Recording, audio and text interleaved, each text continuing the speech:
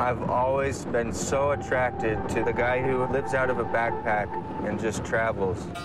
The world is my home. I can wander around and see so many things and meet so many people. I really couldn't answer and say when I'll be done traveling in this way. Being lost is where I'm found. I don't know what day it is. Every day is now. I am another you. Part of Independent Lens on PBS.